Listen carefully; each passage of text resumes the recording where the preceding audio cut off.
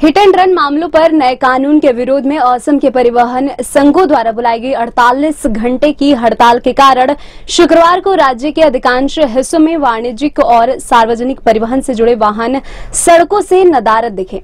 हड़ताल के कारण बसें टैक्सियाँ और ऐप संचालित कैब नहीं चलने के कारण ऑफ़िस जाने वाले लोगों को अपने कार्यस्थलों तक पहुँचने में भारी कठिनाइयों का सामना करना पड़ा।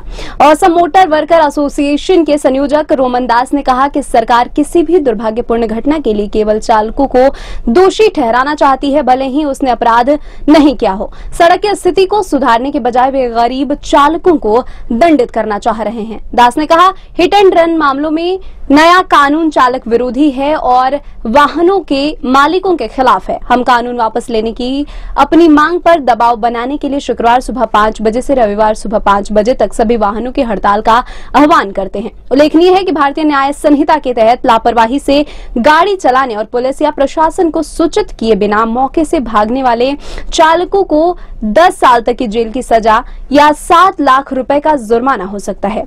बीएनएस भारतीय दंड संहिता की जगह लेगा आईपीसी में ऐसे अपराधों के लिए दो साल की सजा का प्रावधान था। दास ने कहा कि हमने निजी कार मालिकों से भी इस आंदोलन में शामिल होने का आग्रह किया है, क्योंकि यह कानून सभी पर लागू होता है। फिर चाहे घटना किसी वाणिज्यिक वाहन से हुई हो या फिर छोटी कार से।